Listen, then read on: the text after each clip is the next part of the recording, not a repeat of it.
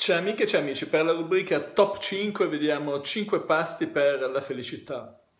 Il primo passo è eh, la felicità intanto è uno stato interiore, quindi dobbiamo eh, riconoscere che non dipende da cose esterne, è uno stato interiore, però noi possiamo diciamo eh, agire sul, sull'esterno in modo tale da andare a modificare questo stato inter- interiore e raggiungere uno stato di felicità.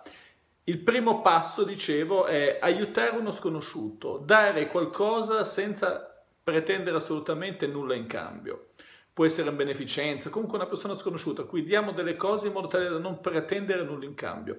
È dando che si riceve, si proietta sugli altri una sensazione di benessere fondamentalmente che ci, che ci fa stare bene, che ci dà un senso di felicità alt- il secondo passo è fai qualcosa che ti mette in imbarazzo, perché se fai qualcosa che eh, ti fa provare imbarazzo, dai un'emozione, dai un contentino alla tua parte emotiva. La tua parte emotiva sarà felice di renderti felice. Non devi avere l'imbarazzo della scelta, ma devi fare la scelta dell'imbarazzo. Eh, il terzo passo è confessare qualcosa di cui ti vergogni, un tuo difetto, qualche cosa che ti fa stare male, tu confessalo, dillo in giro, nel momento in cui lo dici lo depotenzi.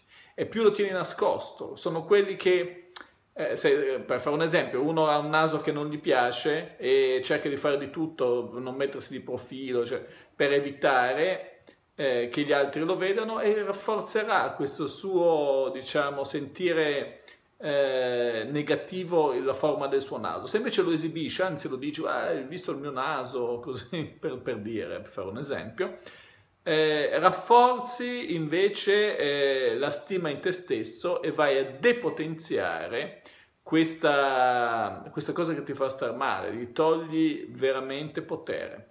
Il quarto punto è evita di frequentare persone negative. Ho fatto un altro video eh, sulla frequentazione di persone negative. Le persone negative ti rendono la vita una schifezza. Eh, quindi bisogna evitarle, anche se sono persone in qualche modo a noi care, dobbiamo comunque avere la forza di evitarle, questo è veramente importante. E come quinto e ultimo punto, non accettare imposizioni, cioè eh, fai le cose che ti piacciono, evita di fare cose che non ti piacciono eh, piuttosto rinuncia a, delle, a altre cose, ma ad esempio se finisci di vivere per lavorare facendo un lavoro che non ti piace, ma soltanto per una mera, mera questione di soldi, alla fine sarai infelice. Magari sarai più ricco, ma infelice comunque. Bene, per questo video è tutto. Chi si iscrive al canale avrà la possibilità di fare una domanda e di ricevere un video di risposta. In più, se il video ti è piaciuto, metti un like e condividilo con i tuoi amici. Ciao!